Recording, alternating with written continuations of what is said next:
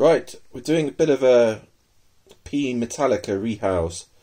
Um, I didn't really have enough cork bark, so um, yeah, I really want one of the uh, well, you know, uh, regards to the shows to to basically because it's a great place to buy cork bark, and obviously you can select it in person at the moment. Lockdown, it's um, it's a bit of a lottery if you buy cork bark getting the right size because for this size tee, and hopefully you'll see it in a second, I wanted a sort of larger piece which um, got a circle, you know, cylindrical, and uh, but I basically sort of done a bit of a bodged job. Anyway, um, yeah, let's get going. And then a little note at the end about the um, T Lagunas egg sac. It's been a nightmare.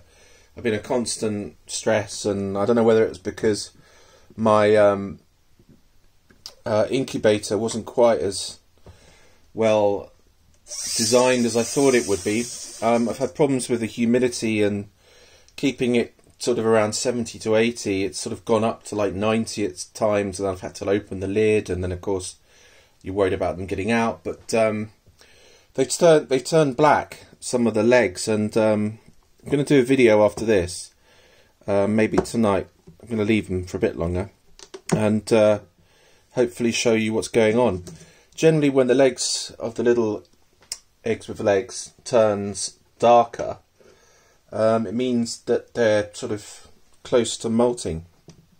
Um, so yeah, so I still don't know. I mean, they could all die in the molt. So um, it's just one of those things that I think for the first time doing something, you're not really sure how to do it. I mean, I know I knew the general kind of plan, but of course, as it's going on, it's sort of there's a smell. They they were sort of smelling a bit, and nothing much was happening, and uh, yeah, so um, it's all a bit kind of scary. It's like when you first get your, your first tarantula, you don't quite know what's going on, you're sort of panicking, and well, I mean, I still am. I think once maybe I've got over this first sort of incubating um,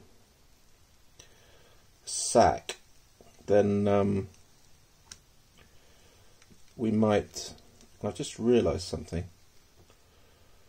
There might be roaches in here. Oh, I don't know if you can make out this. It's a bit of a whipped up. Ugh. Crumba. Now the little chap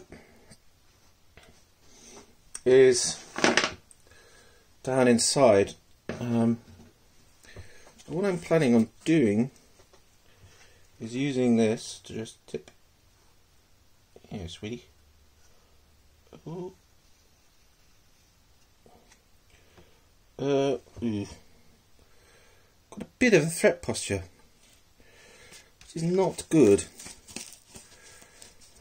I'm trying to use this as a sort of slightly wider than the uh, uh,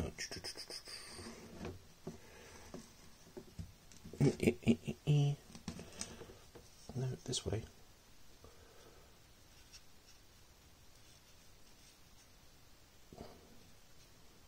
Mm. That's it. Up we come. Oh, don't go back down. Ugh. Having a few technical issues here. Wait. That's it. Come on, sweet pea. Hopefully you can make this out.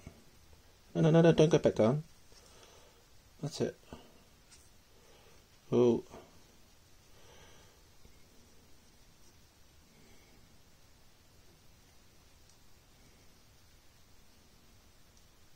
Ooh. Do you see those fangs there? It's not a good sign. Oh, no, no, no, no. Oh, no, no, no, no, no. No, no, no, no, no, no, no. Damn it.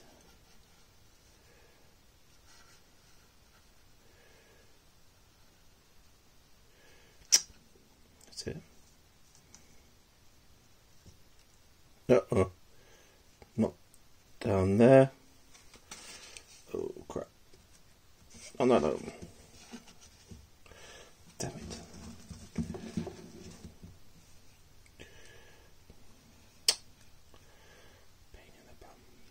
Sweetie.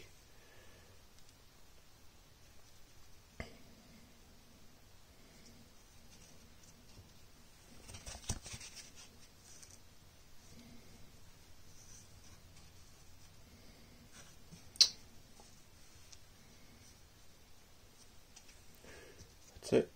Up you go.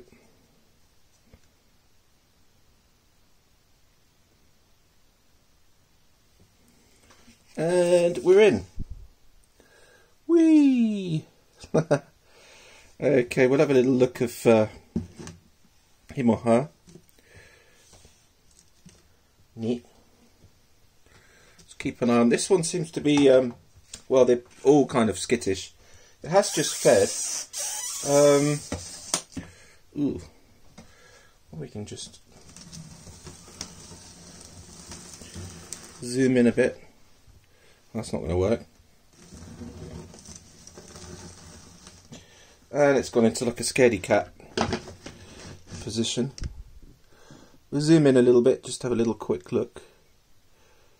But yeah, that's one of my P Metallicas. The other one is um, a lot bigger. I'm just going to leave this one alone and sort of try and not disturb it. And um, yeah, hopefully we're going to do a little video later of the eggs with legs and I can show you them wiggling about. So yeah, fingers crossed. And uh, hope everyone's well. Cheers.